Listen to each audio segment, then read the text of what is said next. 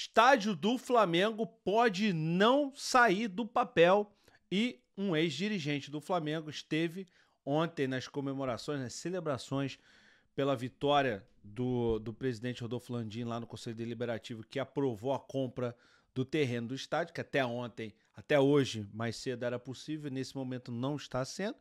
Mas enfim, esse ex-dirigente estava lá, comemorou, celebrou e está sendo muito criticado o Rodolfo Landim e o, e o candidato dele, que ele apoia no Ducho de Abrantes, pela presença desse ex-dirigente no Flamengo. Então, vamos ver esse vídeo que está polêmico e cheio de informação no Hype News aqui, BarbaCast. Vamos lá. Salve, salve, rapaziada. Sejam muito bem-vindos a mais um vídeo aqui no BarbaCast. Eu sou Rafael Cotto Barba e hoje a gente vai falar sobre a presença de um ex-dirigente que está levantando muitas suspeitas e, enfim, é, muita gente está criticando o Landim e o Dunst por estarem com esse cara e eu vou explicar por que, que ele está que que, que ele está sendo criticado.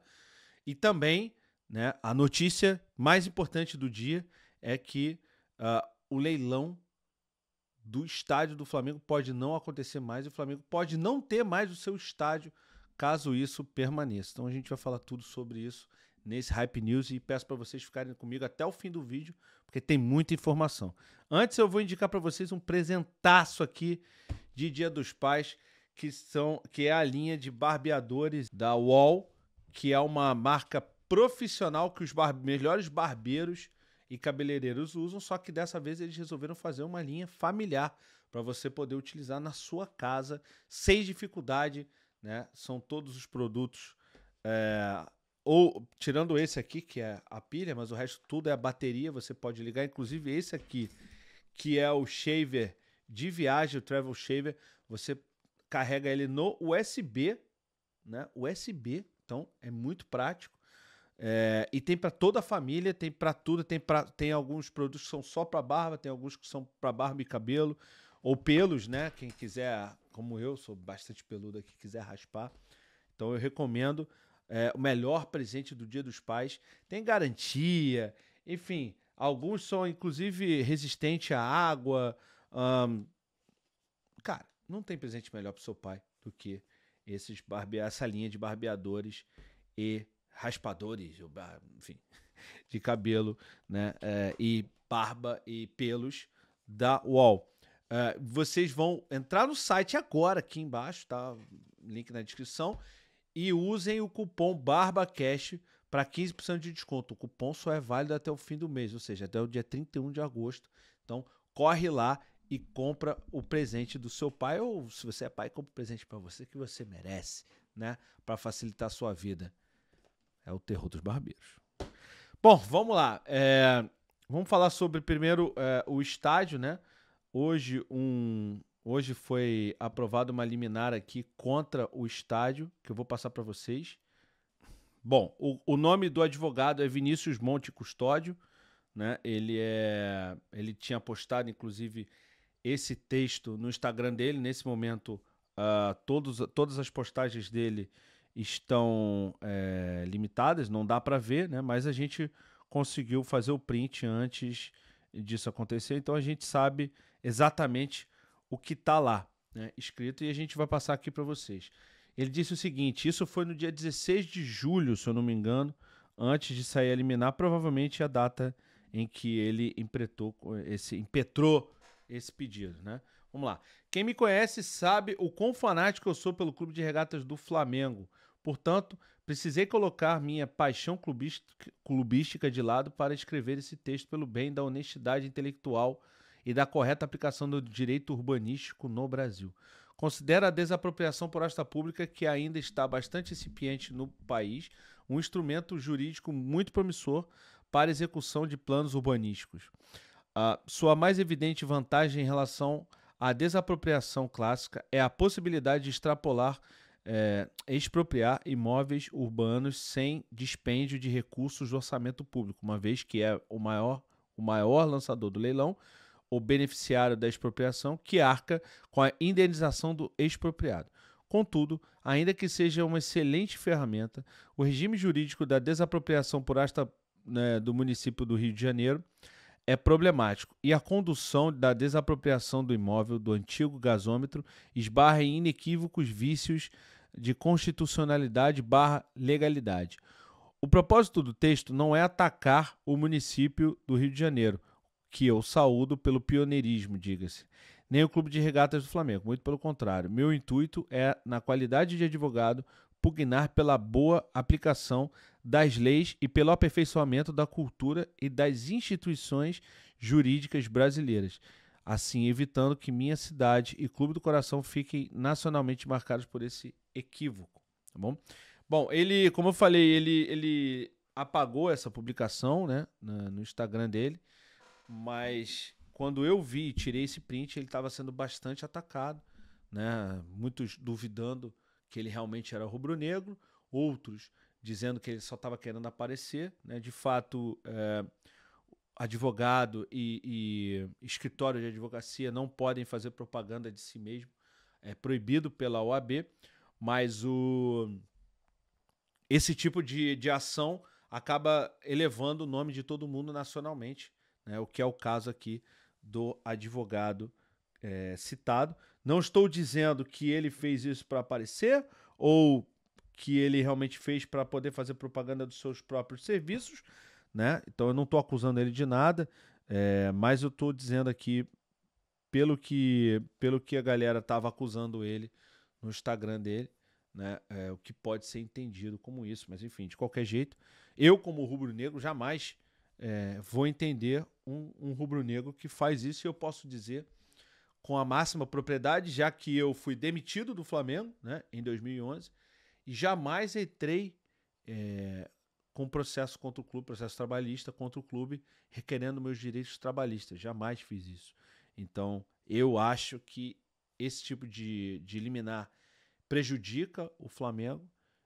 E sendo assim, eu, como rubro-negro, jamais faria algo para prejudicar meu time. E eu tenho certeza que você, qualquer que seja o seu time, também jamais faria algo nesse sentido, né? No sentido de prejudicar o seu time. E eu acho, sinceramente, é a minha opinião, eu acho que esse tipo de atitude prejudica sim o Flamengo. Né? A gente tem aqui também a matéria do Diogo Dantas lá no Jornal Globo, né, no site do Jornal Globo, falando que o leilão foi suspenso né, pela Justiça Federal e ele fala um pouco sobre o que está acontecendo. Né? Então vamos dar uma olhada aqui. Após a ação popular movida nesta terça-feira, a Justiça Federal do Rio de Janeiro decidiu suspender o leilão do terreno do estádio do Flamengo, que aconteceria na tarde desta quarta-feira, ou seja, amanhã, dia 31 de julho.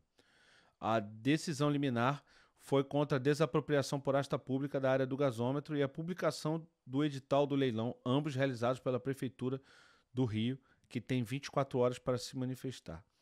Nesta segunda-feira, a Caixa Econômica Federal já havia tentado adiar o leilão, com a entrada na mesma Justiça Federal com pedido de liminar, mas este foi negado. Na sede do Flamengo, conselheiros aprovaram a compra do terreno por 138 milhões na noite da, dessa segunda-feira, né? Ontem, né? E comemoraram a vitória antes da hora, o que eu acho que não tem nada a ver, porque não foi com, comemorar antes da hora, porque a, a, aprovação foi dada, né? Então, não, nada a ver isso que ele falou, mas tudo bem. Vamos seguir. O argumento do juiz Marcelo Barbie Gonçalves, da Sétima Vara Federal do Rio de Janeiro, é que a Caixa é a proprietária provisória do fundo de acionistas que administra o terreno e que a desapropriação deveria passar pelo presidente da República. O ator da ação, da ação Vinícius Monte Custódio, usou cinco argumentos principais para o pedido de anulação da, de, é, da desapropriação e do leilão, como a falta de definição se o imóvel passaria primeiro para o município ou se seria leiloado diretamente, e a alegação de que uma desapropriação deve atender a interesse público, não privado. Mas o ponto destacado pelo juiz eh, Marcelo Barbie Gonçalves foi a necessidade de autorização prévia do presidente para a desapropriação. Pela lei, um município não tem o poder de desapropriar um bem do Estado ou do governo federal. Acontece que o imóvel não pertence à Caixa, mas sim a um fundo imobiliário administrado pela Caixa.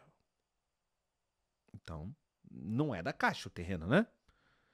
Mas a ação argumenta que o Banco Federal é o único cotista do fundo e que a Caixa é a proprietária fiduciária do imóvel.